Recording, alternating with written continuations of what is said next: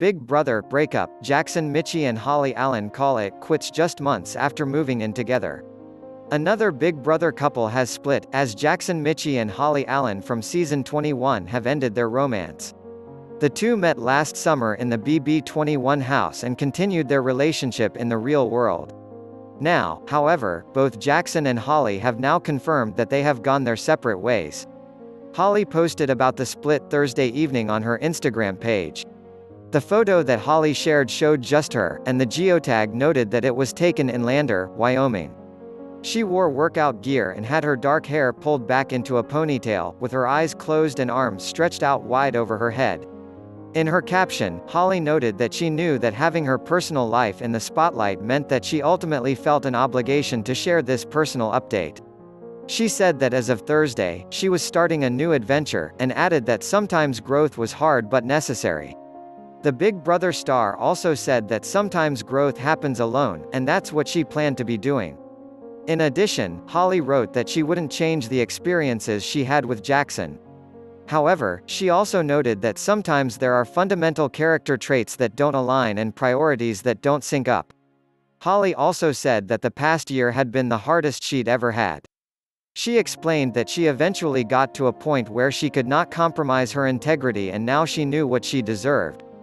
The Big Brother runner-up said that she is hurting now, but that is excited about this new chapter in her life. Jackson shared a post on his Instagram page shortly after Holly's. It included a photo of him with Holly, and he referred to her as an amazing woman. He said that there were no bad words or actions that led to the split, just that the two of them had recognized that a relationship together wasn't for the best. He said that they loved each other deeply and that Holly would always hold a special place in his heart. We also noted that there had already been some breakup rumors swirling about the BB21 winner and runner-up. During Jackson's birthday on June 13, he was seen partying with fellow Big Brother alum Brett Robinson in Las Vegas. In addition, Holly didn't make any kind of public social media post wishing her beau a happy birthday. After continuing their romance outside of the house last summer, Jackson and Holly moved into a place together in Los Angeles in January. At the time, the couple said they were best friends, had a lot of fun together, and communicated well. The announcement of the split came less than a week after Jackson issued a public apology online over a post he'd made regarding the Black Lives Matter movement. Jackson and Holly's breakup announcement also comes in the midst of a lot of rumors swirling regarding a possible All-Star Season 22 cast for this summer.